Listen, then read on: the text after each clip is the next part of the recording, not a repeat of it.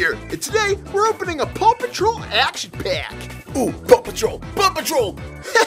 yep, Zombie Steve sure loves his Paw Patrol. Let's open this one up before he goes crazy. Whoa. So here we have the Paw Patrol Action Pack Rescue Team. And this pack can only be found at Walmart.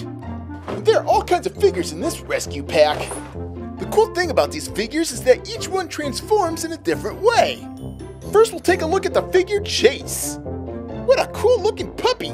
Huh! And if you touch this badge right here, he'll transform. Whoa! Let's instant replay that spring-loaded action. Awesome! Hmm, I wonder what that thing does. Bow! Oh, it uh, shoots water. Cool. Ooh, play, play! Hold on there, Zombie Steve. Uh, we still have more figures to pull out of this box first. So the second figure we have is the Fire Dog Marshall. All right, let's see what he can do. Whoa! Good dog, Marshall. Bow! So the next Paw Patroller we have is Rubble. I wonder what he does. Whoa! Whoa! That is awesome! Next up is the Paw Patroller Skye. Whoa! Her collar gave her wings.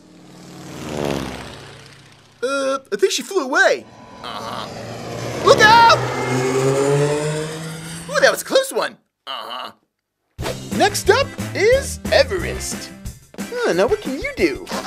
Whoa! Look at that claw! And the last figure we have is Ryder. Look at that cool looking figure. Put him with the Paw Patrol and he'll take charge. All right, guys, transform. All right, good job, gang. The last thing we have in this box is your very own Paw Patrol badge that you can snap onto your clothes. Paw Patrol! Paw Patrol! Oh, Zombie Steve, you're too much! so there they are, the Paw Patrol Action Pack Rescue Team. Zombie Steve, how much longer are you gonna be? Uh, hour. Uh, but Paw Patrol's boring. What the heck?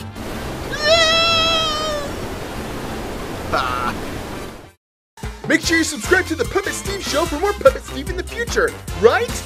Great. Ah!